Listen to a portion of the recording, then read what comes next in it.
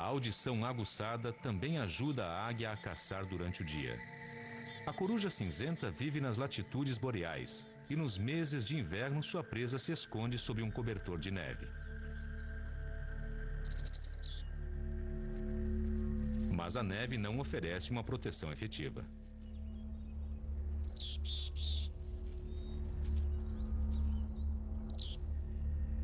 Mesmo através dessa cobertura, a coruja consegue detectar o som de um rato comendo.